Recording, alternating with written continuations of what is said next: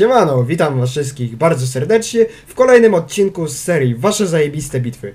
Dzisiaj pokażę meczyk gracza Dexardos.pl z klanu 1DBGK na czołgu, niszczycielu czołgów AT2 na mapie Ukryta Wioska z Dolnego Kapa. Gracz posiada 11 tysięcy bitew, 1122 punkty WN8 i 49% win ratio, więc jak dla mnie jest e, graczem przeciętnym, ani dobrym, ani słabym, takim pół na pół, więc ogólnie co to jest za pojazd? Jest to piątotierowy niszczyciel nacji brytyjskiej, który jest jedną z najtwardszych maszyn piątego tieru w ogóle w całej grze. Nie ma twardszego pojazdu od AT2 na piątym tierze. Jest to następca genialnego niszczyciela Alekto i jego totalne przeciwieństwo, gdyż e, AT2 można przebić tylko tutaj w ten gardek i ewentualnie celując w jarzmodziała, które no tak naprawdę z dużej odległości jest e, wręcz niemożliwe do trafienia. Działo, jakie tutaj kolega ma zamontowane, to armata kalibru 57 mm. Dokładnie to samo co w Alekto. 110 mm penetracji, 75 uszkodzeń, 180 mm penetracji na goldzie, a tak, żebyście mi kurde uwierzyli, bo na słowo pewnie niektórzy mi nie wierzą. 38, nie, 30 mm penetracji na goldzie, bo na Alekto jest 38 mm, ale dobra. Więc ogólnie maszyna zapyla kurde tak, że czuć normalnie wiatr we włosach, całe 20 km na godzinę, że o matko, to e, pewnie Xardos myślał, że w ogóle tą swoją magiczną prędkością wyleci gdzieś poza mapę, o, o tam za tą górkę, albo, albo gdzieś e, wjedzie na sektor A2 ze swojej bazy w dwie sekundy. No dobra, tak na serio. Mm, 20 km na godzinę to jest bardzo mało. To jest jeden właśnie z najwolniejszych czołgów na piątym tierze, nawet KW1 jest szybszy od niego, no ale kosztem takiego pancerza naprawdę warto warto tyle jechać. Yy, No, oczywiście wiadomo, że najlepiej to by było mieć pojazd, który jest mobilny jak ta cholera, który ma pancerz, który jest nieprzebijalny i działo, które jest genialne. No akurat tutaj kolega ładnie złapał tą B1 na gąsienicy i ją ładnie wydoił.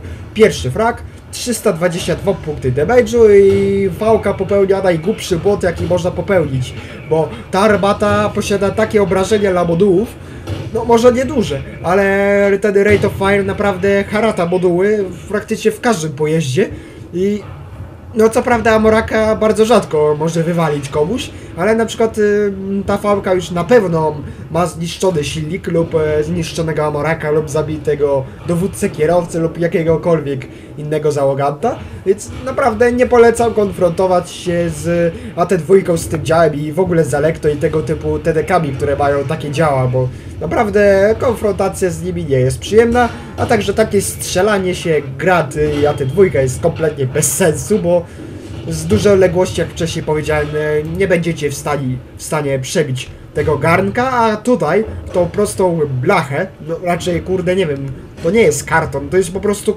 kawał kurde pancerza w tym miejscu, którego mm, 180 mm penetracji nie jest w stanie przebić, bo ogólnie ta dwójka posiada 200 parę milimetrów pancerza z przodu, co no spokojnie wystarcza, by odbijać praktycznie wszystko. Oczywiście tutaj zdarzają się przebicia, no co prawda jak się bokiem ustawię AT2 to już nie ma tego pancerza, ale to nie zmienia faktu, że jednak AT2 jest najlepszym pojazdem jeśli chodzi o piąty tier.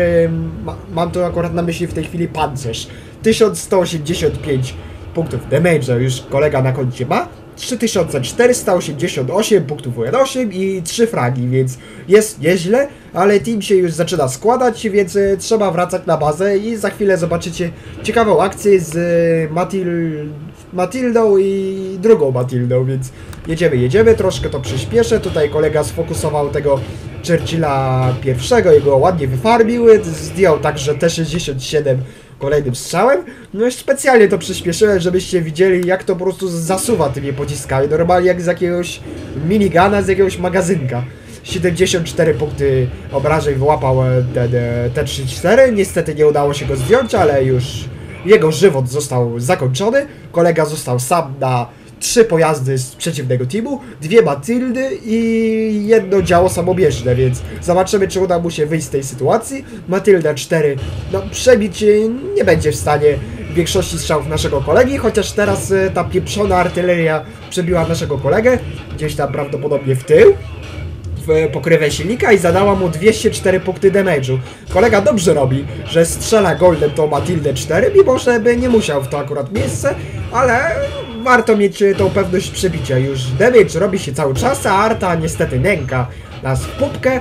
Już Matilda 4 została eh, zdjęta i teraz e, czas na kolejną Matildę. Niestety 24 punkty życiowe zosta zostały tylko naszemu koledze.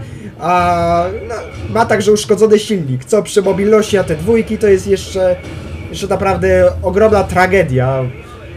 Akurat e, koledze udało się bardzo ładnie wyjść z tej sytuacji, ładnie rozpierdzielił te Matildy, no i teraz troszkę to przyspieszę, gdyż nie ma sensu oglądać to, jak kolega się toczy z tym rozwalonym silnikiem. Kolega zmierza teraz w tej chwili w stronę przeciwnego kapa, lecz niestety zaraz zdarzy się coś, no, czego niestety nie uda mu się odkręcić. Mam tu na myśli kapa, gdyż no jest dość spory kawałek od swojego kapa, artyleria kapuje, no i niestety kolega nie będzie w stanie wrócić na kapa na czas. Cóż, bitwa jest przegrana, kolega jeszcze te, śle tam parę blindów na ślepo. Niestety nie udało się zdekapować. Przechodzimy do podsumowania. A tak się prezentują statystyki pobitewne.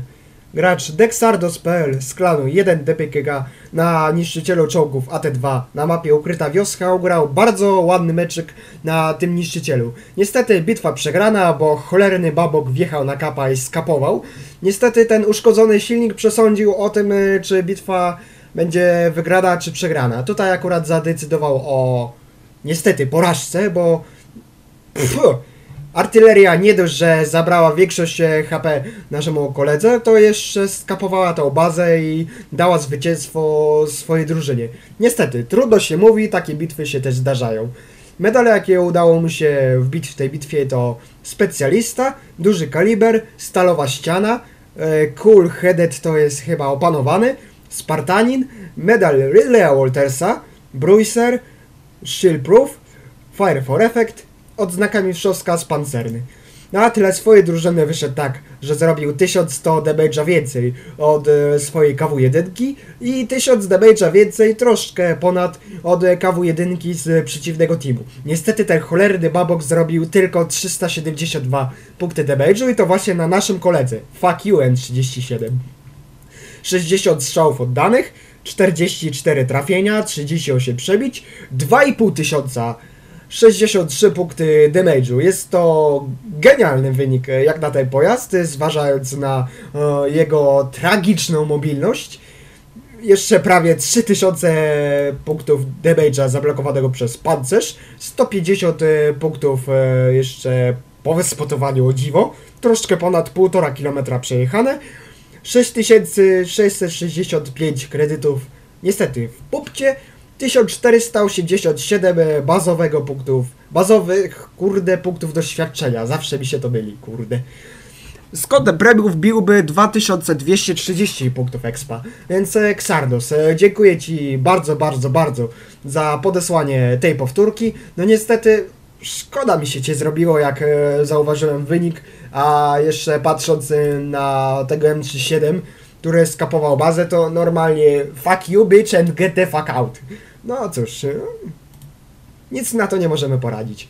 Także dziękuję Wam bardzo za obejrzenie tego meczyku, tej powtórki, tego filmiku i zapraszam Was do podsyłania Waszych powtórek do serii Wasze zajebiste bitwy. Trzymajcie się.